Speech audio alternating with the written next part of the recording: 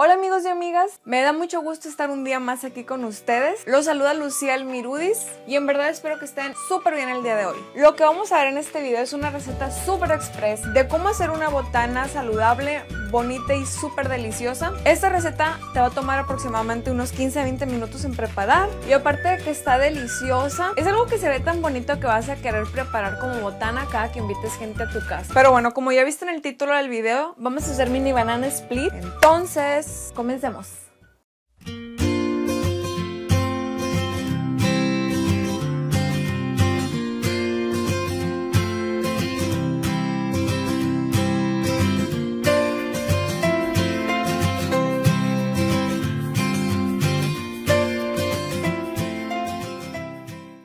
Vamos a necesitar plátanos, fresas, sandías, chocolate y palillos o picadientes. Vas a cortar la fruta en pedacitos o rebanadas y con ayuda de los picadientes vas a hacer mini sándwiches poniendo la sandía primero, luego el plátano y al final la fresa. Y los vas a meter a tu congelador de 10 a 15 minutos. Después vas a derretir el chocolate a baño María y una vez que tu fruta esté helada vas a sumergir la mitad en el chocolate derretido y yo para darle un toque crujiente, piqué almendras en pedacitos y dejé que se pegara el chocolate mientras aún está derretido.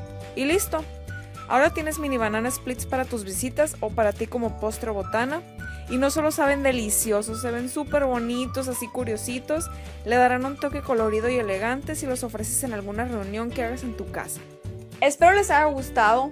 Están riquísimos. Sobre todo porque soy fan de las almendras y así el saborcito de las almendras con la fruta y el chocolate. Ay, sabe riquísimo, en verdad lo tienen que hacer, no les va a tomar mucho tiempo, es una receta súper baratísima y aparte que sabe riquísimo, es una botana que te puedes comer sin remordimiento. Y eso fue todo por el video del día de hoy amigos, si les gustó denle click en el botón me gusta, compártanlo con sus amigos y nos vemos con todo el favor de Dios en el próximo video. Se despide de ti, Lucial Mirudis.